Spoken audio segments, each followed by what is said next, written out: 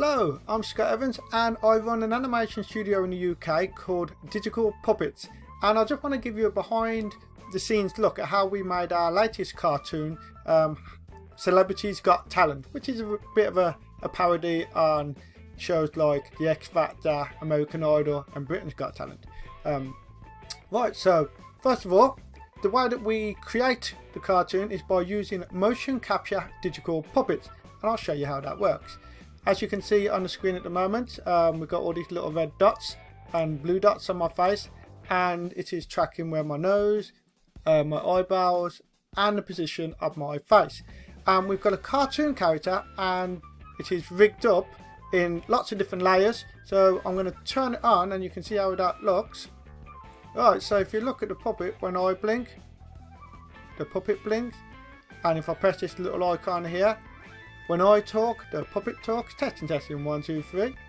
And then when I turn my head, I've got motion on the character, tilt my head, and then also I've built in lots and lots and lots of triggers. So these are animations I've already created and embedded into the puppet so they can be um, triggered anytime I need them on the timeline. So let's have a look here. We've got lots of different eye expressions,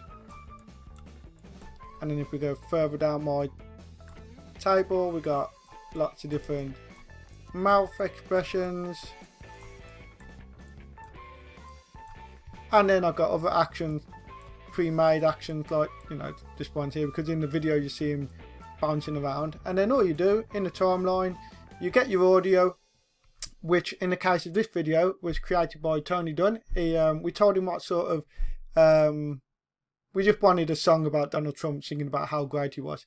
And so our friend Tony Dunn um, went away and produced a video made up of original music. Um, it took um, vocals, real vocals from um, both Donald Trump and Simon Cowell, and he also impersonated them and he put it all together to make the audio track that you saw in the YouTube video. And then I put that in the timeline, and then basically I just perform the puppet along with the track. So, you know, I dragged the arms around, I got him playing on the keyboard, you know, throwing his arms up in the air, dancing to the music, pulling silly faces.